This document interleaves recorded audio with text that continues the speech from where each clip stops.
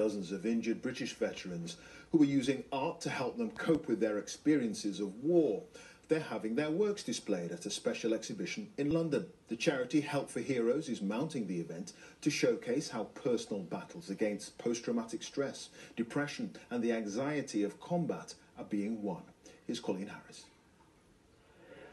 I couldn't walk very well. I was in a wheelchair at the time. I was emotionally numb back then in 2014. I went into the art room and we sat down and we was asked to have a go at drawing. I'm sure if you spoke to my wife, she'll tell you that it's calmed me down quite a bit. The scars of war, immortalised in the art of soldiers. This is a road to recovery of an artistic kind. My name's Tom Stimpson. Uh, I served 26 years in the Royal Air Force and I'm now an artist. And that, that release of being able to put down on paper something that may be traumatic to talk about, I mean, it still causes emotion now. Um, but it's being able to recognise it. And I think back then I couldn't even recognise it. I was so numb from coming back. Once discharged from the military and back to their families, isolation can kick in.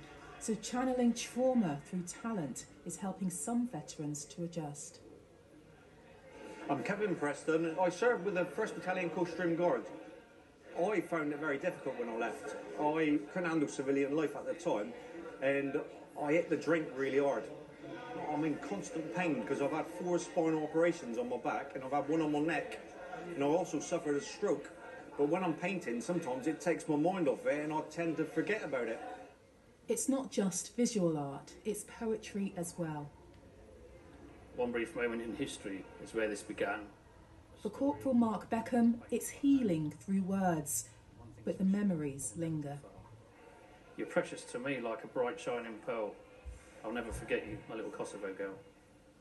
Colleen Harris, BBC News.